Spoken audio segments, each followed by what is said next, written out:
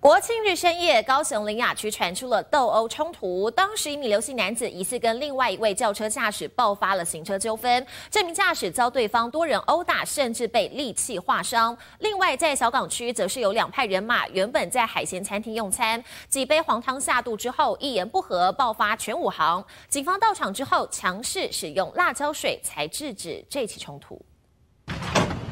伤痕累累，男子全身是血，躺在担架上，紧急被送医治疗。追到那边去。随后，警方也在男子的轿车上仔细查看，只是被害人究竟发生什么事？原来稍早前他疑似行车纠纷遭人殴打，对方下车持棍棒以及利器啊朝他殴打。国庆日深夜不平静，晚间十一点多，高雄林雅区三多一路汉昌街传出斗殴冲突。当时这名刘姓男子疑似跟一部黑色轿车爆发行车纠纷，驾驶竟遭对方多人殴打，甚至被利器划伤，造成他背部还有一些撕裂伤，身体啊多处的擦挫伤。目前警方正全力追缉。另外在小港区也发生打架冲突，来起来，蹲着就好了，蹲着就好了。警方到场将闹事男子强势压制。不止将当事人逮捕，一干人等也全被带回警局。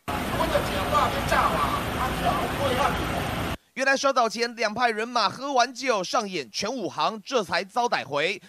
事发在十一号凌晨两点多，小港区红平路的海鲜餐厅，蔡姓跟王姓男子两人互不认识，因为言语不合爆发推挤冲突。过程中，警方还使用辣椒水实施强制作为。民警在场制止无效，使用这个辣椒水避免这个冲突呢。